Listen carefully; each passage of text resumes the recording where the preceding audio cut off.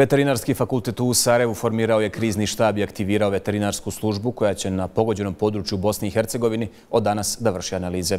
Kako je najavljeno, u narednim danima predlagaće konkretne mjere kako bi se izbjegla mogućnost širenja infekcija i bolesti. Gost vijesti je dekan Veterinarskog fakulteta u Sarajevu, Nihat Fezić. Hvala što ste s nama, gospodine e, Feziću. Šta sada prijeti stanovništvu područjima koje su pogodile poplave i klizišta?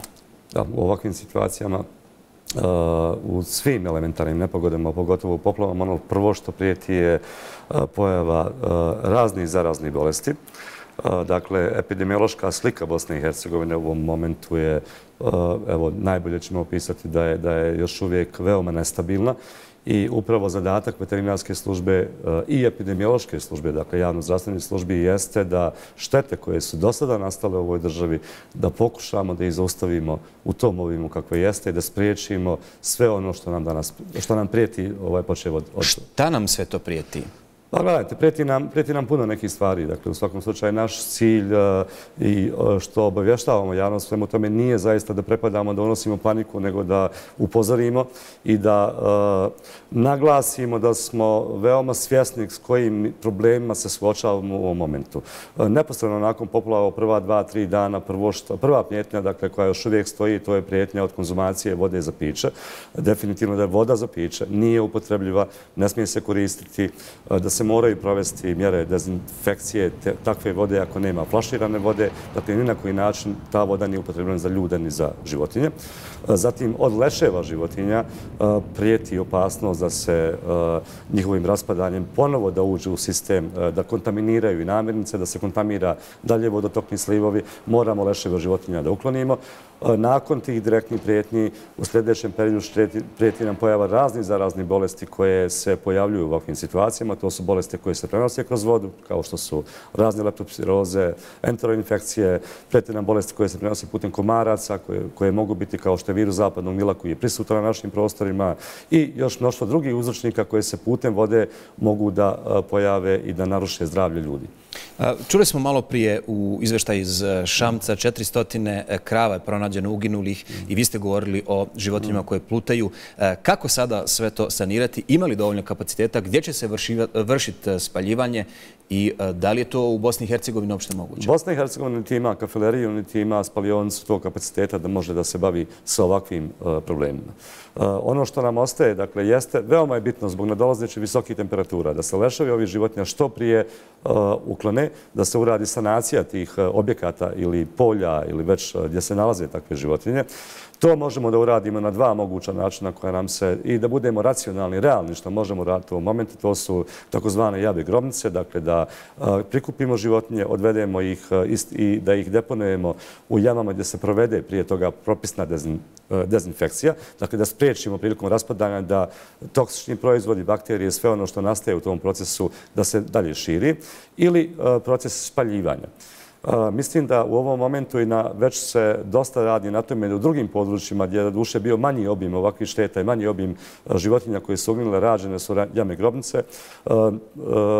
Kod jama grobnica, naravno, što je bitno da znamo da nivo pozemnih voda mora, između nivoa pozemnih voda i dna jamne grobnice mora da bude po standardima najmanje 2 metra.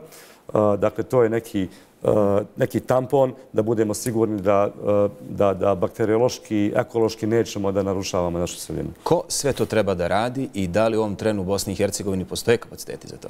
To, Ja mislim da, da, u stvari siguran sam da u Bosni i Hercegovini postoji kapaciteti. To to rade ovaj, svakako civilne službe, službe civilne zaštite zajedno sa veterinarskim organizacijama. Na nekim prostorima su te mjere već dovoljno dobro provedene. Ono što je naša uloga kao fakultete, zašto smo mi tu? Dakle, mi u prvoj fazi djelujemo definitivno, mi djelujemo sastavu Federalne uprave civilne zaštite. Dakle, mi djelujemo savjetodavno.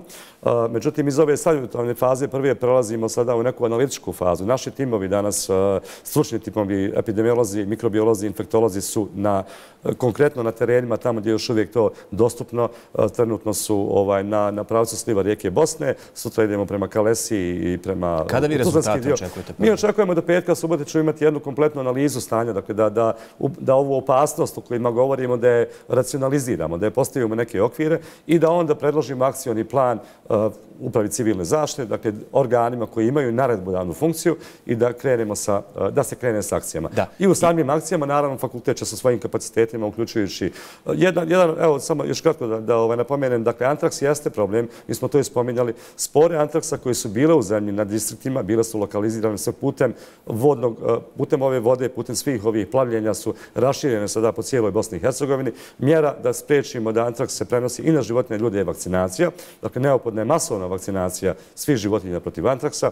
Neopodna je nabaviti dovoljne količine vakcine koje trenutno nemamo. To treba da se uradi i da nakon toga veterinari uz pomoć evo i studenta veterinarskog fakulteta svi krenu i u roku od nekih 15 dana preveniraju da antraks postane naš problem. I tu stavljamo tašku na jedan problem koji se javlja. Dakle, sve probleme koji su nastali s ovim možemo sistemski, analitično, odgovorno riješiti u nekom vremenu koliko se to očekuje u ovakvim situacijama. Da, analize rekste da se e, tek očekuje. Da li ima e, odnosno procena u ovom trenu, e, kolike su štete u stočnom štete Štete su zaista ogromne. Pazite, to ovaj, veoma je nezahvalno da prognoziramo. Dakle, kad govorimo o štetama, dakle, moramo znati da nije šteta ovaj, samo ovaj, životinja koja je uginula.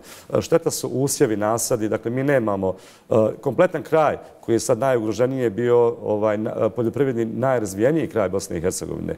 Dakle, nećemo imati domaće hrane, nećemo imati hrane za životinje, nemamo životinja, neće biti dovoljne domaće proizvodnje. Evo, da, da, ako samo pokušamo biti analitični da kažemo da Bosna i Hercegovina približno proizvedne hrane na svojim prostorima oko milijardu maraka godišnje, ako je jedna trećina naših ukupnog prostora sada zahvaćena svim ovom katastrofom, znači da u proizvodnji ćemo samo imati ovaj manjak od 300 miliona, a da ne govorimo o, o, životinjama, o štalama, o objektima, o mehanizaciji i tako dalje. Dakle, to, to, je, to je jedna velika tragedija za Bosnu i Hercegovinu. Hvala vam lijepo za vrijeme koje ste izvali za Al Jazeera. Dakle, naš gost dekan veterinarskog fakulteta u Sarajevu, Nihat